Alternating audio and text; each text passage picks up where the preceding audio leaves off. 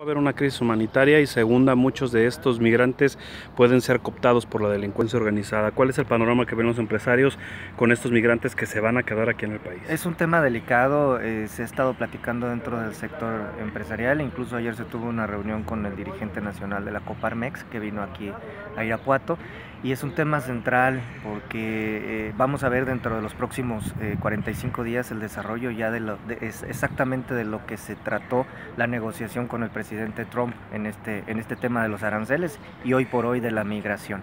Eh, se habla que es una política Sinatra, ¿por qué le, le hablan de una doctrina Sinatra? Porque se negoció a mi manera, esa es una manera unilateral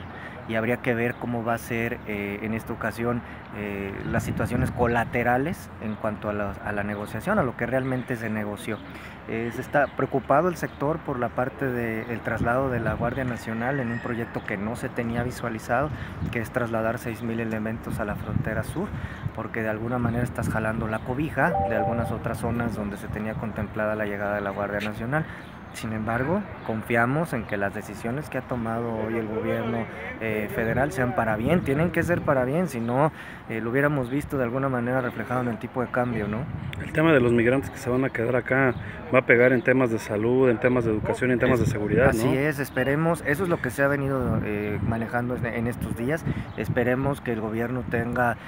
un proyecto, un plan alterno para hacerle frente a todo lo que se viene. No es tan fácil albergar a los migrantes que día con día siguen circulando dentro del país.